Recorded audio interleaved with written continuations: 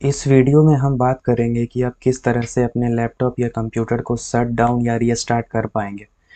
इसके लिए सबसे पहले आपको स्टार्ट बटन पे क्लिक करना है, फिर पावर वाले बटन पे क्लिक करना है।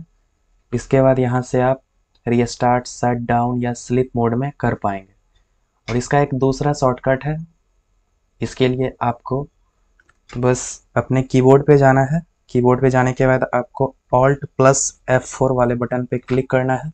उसके बाद कुछ इस तरह की विंडो ओपन होगी।